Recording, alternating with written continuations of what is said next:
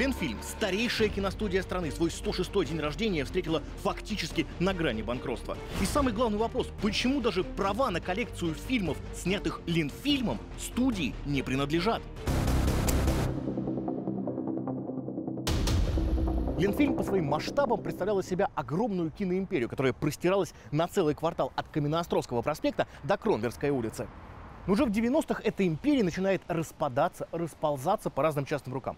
Например, здесь по адресу Каменноостровский 10 литера Б был один из съемочных павильонов Ленфильма. Сегодня обычный бизнес-центр. Или же продовольственный магазин и офисные помещения в здании на Кронверской улице. Раньше здесь хранился весь мебельный реквизит огромной кинофабрики. Коллекцией Ленфильма произошла похожая история. В 93 году, когда студию возглавлял известный кинопродюсер Александр Галутва, создается компания «Фильмофонд» киностудии Ленфильм, которой и передаются права на коллекцию. Сам Александр Галутва сегодня объясняет этот шаг как раз защитой коллекции от перехода в частные руки в случае возможной приватизации киностудии. Тогда было принято решение о том, чтобы разделить Ленфильм как бы на две части. Имущественный комплекс – это отдельно предприятие, которое приватизируется, и отдельно выводятся права. Но оказалось, этот шаг только ускорил переход прав на коллекцию в частные руки. С 2004 года Ленфильм существует в виде двух разных компаний. В апреле 2009, когда Галутва уже занимал должность заместителя министра культуры России, его бывший зам, глава фильмофонда Георгий Мауткин, передает фирме Twin SP в лице Елены Шишко эксклюзивное право на телетрансляцию коллекции Ленфильма до 2023 года. Вот у меня в руках копия этого лицензионного договора. Стандартный лицензионный договор, определение, реквизиты сторон. И вот, пожалуй, самая интересная и объемная его часть. Приложение. Вся золотая коллекция Ленфильма на бумаге, больше чем на 40 страницах, где на каждой мелким шрифтом сотни наименований фильмов, некоторые из которых всенародно любимые шедевры.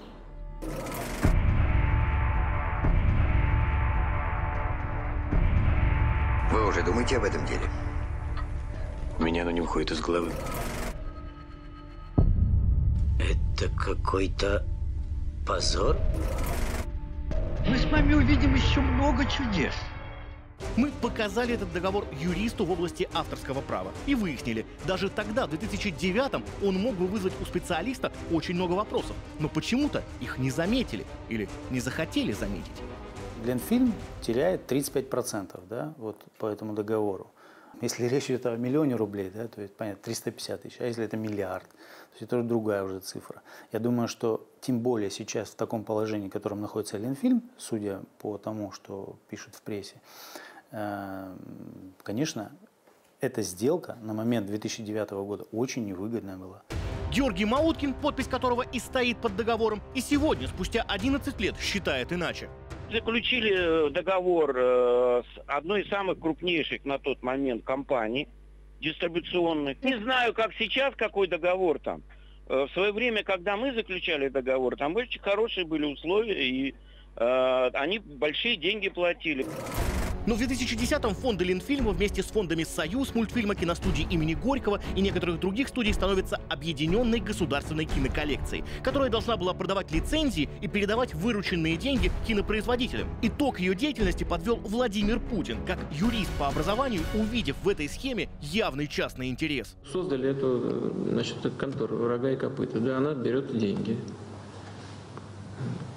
Все. А что она делает? Я не понимаю, что она делает. Вы можете объяснить, что она делает? Вы меня просто удивляете. Все такие взрослые люди сидите и молчите до сих пор. Вас грабят, а вы молчите. Коллекция была расформирована, права переданы в Госфильмофонд, который и владеет ими по сей день. Опять власть меняется. В 2016 году во время визита Владимира Путина на Ленфильм кинопроизводители попросили президента вернуть коллекцию домой. Президент инициативу поддержал, но вскоре выяснилось, что договор с ТвинСП Госфильмофондом не только не расторгнут, но еще и продлен. Каким образом Госфильмофонд это сделал, для меня является невероятной загадкой, потому что руководство Госфильмофонда прекрасно знало, прекрасно знало, что э, коллекцию необходимо возвращать студии. Вот такой ответ на наш запрос прислал Госфильмофонд. Мол, коммерческая тайна. Да и юридически УАО «Ленфильм» даже не является стороной договора. И если бы не то роковое разделение в начале нулевых, судьба Ленфильма сложилась бы иначе. Ленфильм бы был обладателем достаточно ну, серьезных э, финансов, которые действительно позволили бы студии в свое время идти совершенно другим путем. То есть это, ну, это, это серьезный доход. Каким бы мог стать Ленфильм, в этом случае можно увидеть на примере Мосфильма, который не то что выжил, но еще и каждый год выходит в плюс более чем на 100 миллионов рублей. Мы как раз не стали акционироваться, мы сохранили коллекцию. Естественно, мы, так сказать, реализуем эти права и зарабатываем на ней. Строго говоря, вся реконструкция Мосфильма была в значительной степени сделана на средства, которые мы зарабатывали от этой коллекции.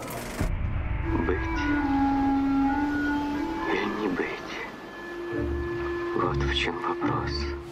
Вот несколько цифр для иллюстрации.